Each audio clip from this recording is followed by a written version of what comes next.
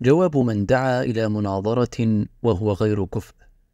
بقطع النظر عن هذه الدعوة التي هي من فروع المظهر الجديد وبصرف النظر عن الداعي إليها والغاية منها وبصرف النظر عن هذه الجرأة التي لم نعهدها من الطرقيين ومأجوريهم. نقول إن المناظرة في الشيء تستدعي نظيرين أي مثيلين في المعنى الذي يتناظران فيه. والمناظرة المطلوبة هنا في مسائل علمية دينية لابسها تاريخ المسلمين الطويل وداخلتها عوائدهم واجتماعياتهم وأثر فيها هذا وذاك. وإذا كنا نحن الطرف الأول في هذه القضية ونحن علماء نقول في الدين بدليله المعتبر ونتكلم في التاريخ بعلله وأسبابه ونقول في العادات بمناشئها وآثارها ونرجع كل شيء إلى أصله. ونرد كل حادثة إلى سببها ونربط بين الدليل ومدلوله والعلة ومعلولها فإن الطرقيين بالطبع هم الطرف الثاني وهل بلغ الطرقيون أن يكونوا نظراءنا بالعلم والدين والتاريخ والاجتماع؟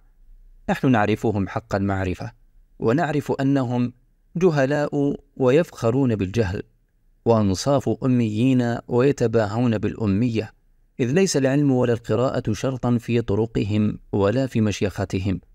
ونعرف أنهم لا يملكون من أسلحة هذا الميدان إلا العناد والإصرار على الباطل.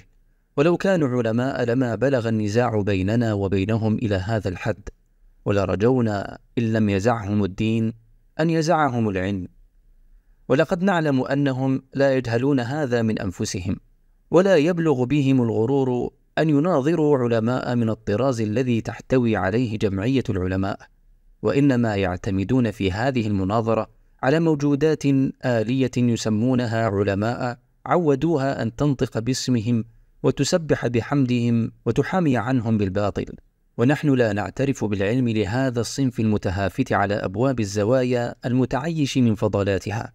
ويأبى لنا شرف العلم أن يكون هؤلاء المسلوب الإرادة الفاقد الاستقلال في العلم نظراءنا في المناظرة لأننا بلوناهم في العمل فوجدناهم جبناء وبلوناهم في العلم فوجدناهم يحكمون الهوى ولا يحكمون الدليل وبلوناهم في الكتابة فوجدنا أمثلهم يسمي البدع المنكرة عوائد دينية أمع هؤلاء تكون المناظرة؟ لا ويأباها شرف العلم فقد تحقق أن هذه المناظرة التي دعوا إليها ساقطة سقوط شرطها الأساسي من قبلهم وهو النظير.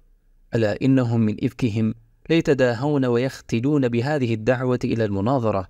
لنجيبهم فنعترف لهم بالكفاءة أو نسكت عنهم فيقولوا عنا أحجموا وخافوا أو نجيبهم بالحقيقة كما فعلنا فيقولوا إن جمعية العلماء تحتقر العلماء ويتباكون ويشنعون